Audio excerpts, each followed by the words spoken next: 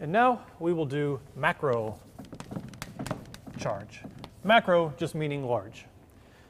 So in physics, we often talk about a body. So we don't really mean anything specific by body. Body just means a large object made out of matter. That's pretty much all it means. In electrostatics, one of the greatest things to use as a body is Teflon. Teflon has a very useful properties, which we'll be showing you very soon. So when I first taught this class, I went back into the demo closet and said, well, I need the Teflon rod to do all the demos. And I was extremely disappointed. This big, beautiful lecture hall with 280 seats and full of students eager to learn about physics. And this is the Teflon rod in Physics 102 at Rice University. This is what I was given to demonstrate electrostatics. I couldn't, I couldn't live without it. So I got in the McMaster catalog and I bought this. This is a Teflon rod. You can really do demos with this. You can really, you can really go to town and explain some physics with this Teflon rod. So we will be using this Teflon rod uh, quite a bit in our demonstrations and in our explanations of physics. So our body is simply a Teflon rod, and it weighs 0.37 kilograms. So what's the first thing we want to do? Well, I guess if we want to think about charge in this rod, we simply say how much charge does it have? And you can actually figure that out from what you already know from the micro scale of charge. Because you could say, okay, this thing weighs 0.37 kilograms.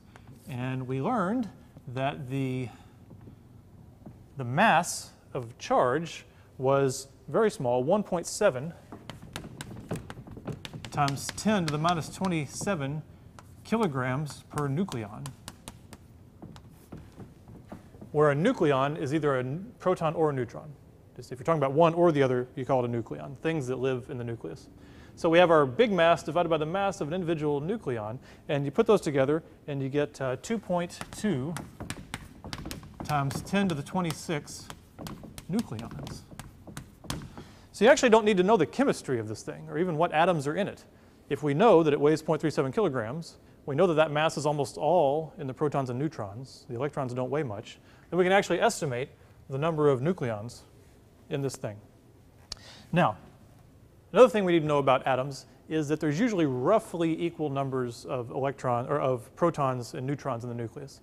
It's almost never exactly equal, but it's usually very close. With lithium, it was three and four, and it's usually closer than that. So if that's true, then we know that half, roughly half of the nucleons are protons. So we know we have 1.1 times 10 to the 26 protons. Okay?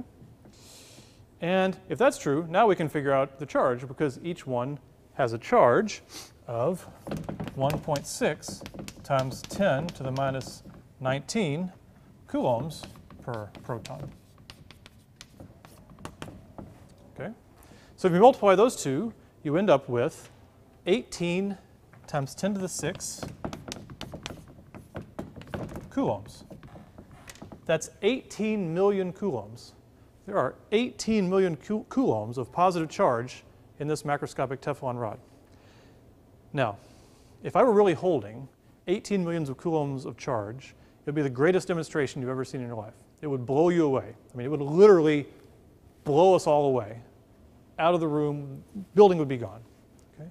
But we, we survived this demo. We aren't all, well, I guess only I and the cameraman would be blown away because this is a distance thing. But, but we survive because there's not just 18 million coulombs of positive charge, there's also 18 million coulombs of negative charge.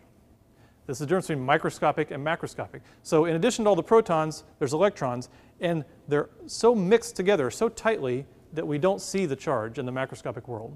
So it does have 18 million coulombs of protons, and it does have 18 million coulombs of electrons.